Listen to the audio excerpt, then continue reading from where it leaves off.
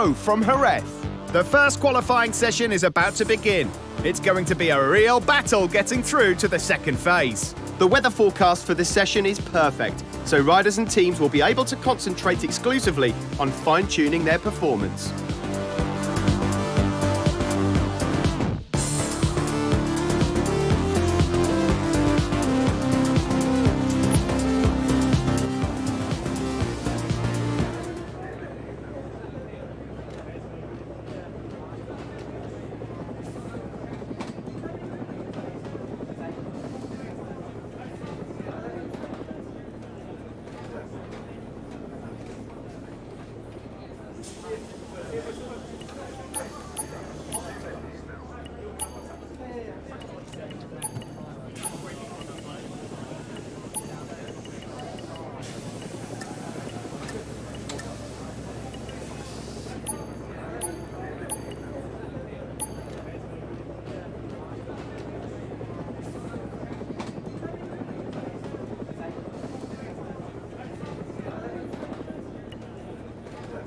There he is getting on the track. We will soon find out whether he's looking for a quick lap time or whether he's trying out something for the race.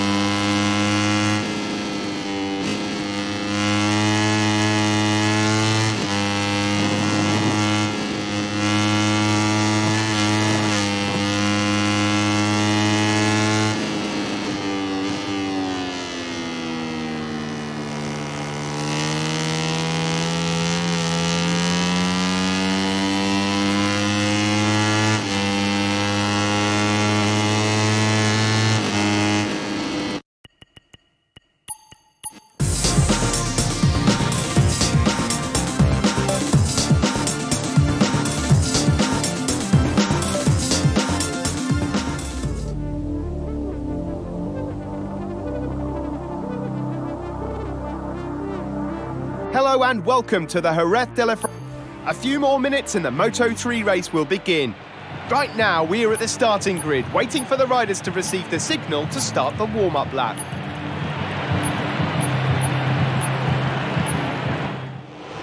Just a few moments to go until...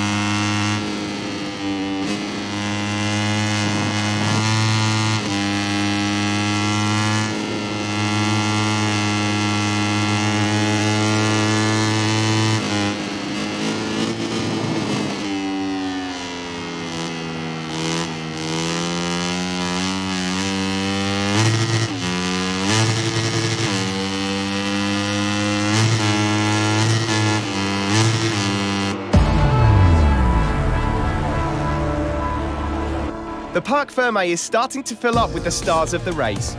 Let's take a look at a graphic of the official results of the just finished Moto3 race.